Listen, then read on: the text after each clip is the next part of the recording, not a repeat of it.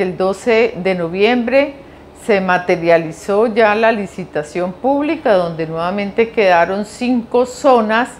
con cinco operadores que estarán haciendo atención pertinente a los niños y niñas con calidad, con eficiencia, con eficacia, que es lo que el señor gobernador en su pilar de buen gobierno siempre nos ha exigido que por favor tengamos el, el compromiso total y con mayúscula extendida para la atención de los niños como siempre primero.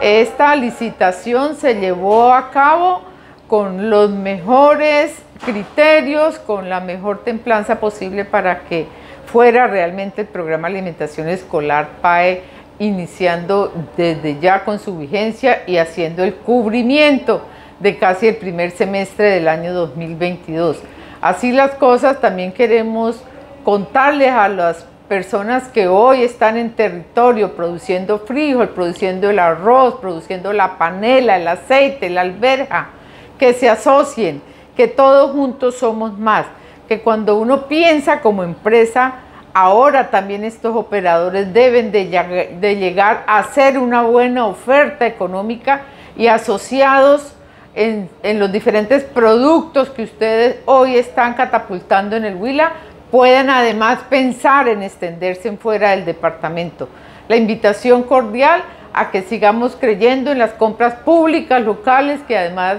el secretario Dilberto Trujillo ha venido también haciendo un gran esfuerzo y con quien hemos hecho hoy un matrimonio importante, dando una mirada a los proveedores, dando una mirada a la reactivación económica y a la oportunidad para que Huila crezca.